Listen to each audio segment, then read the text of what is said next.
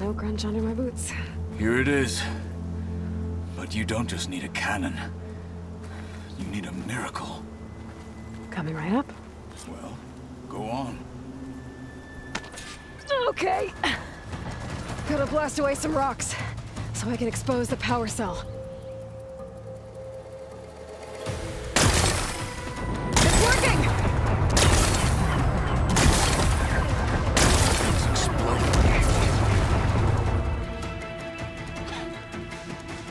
This isn't gonna work.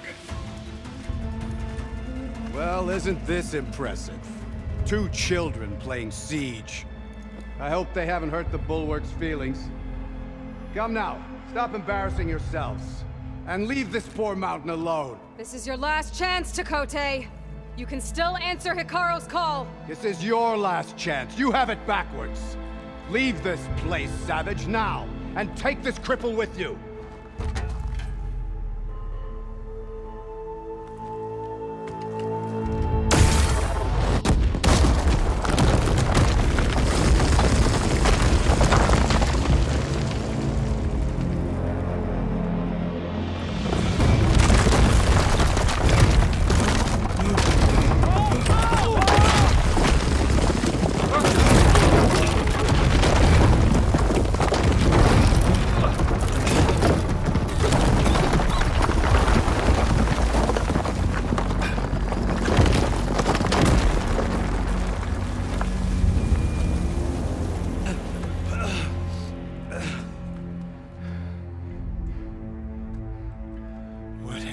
Done? Can't hide behind the wall anymore, Tekotteh.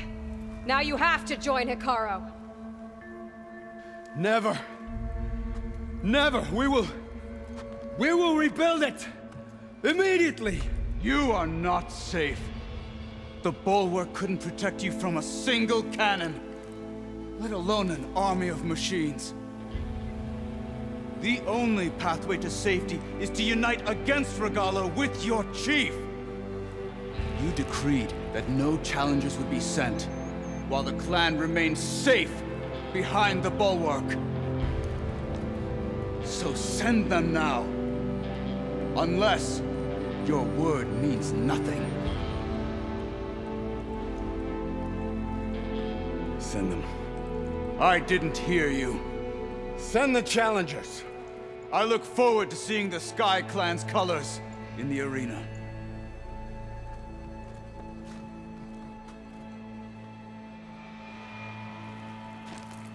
Nicely done, Marshal. What's gonna happen to this place? They'll have to live without their wall. But that's better than living apart from the tribe, as pawns in Tekotteh's foolish schemes. If you want to check up on them, talk to Jera, the chaplain of the clan.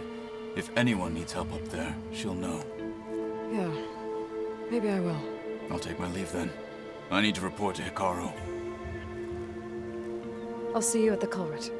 Good.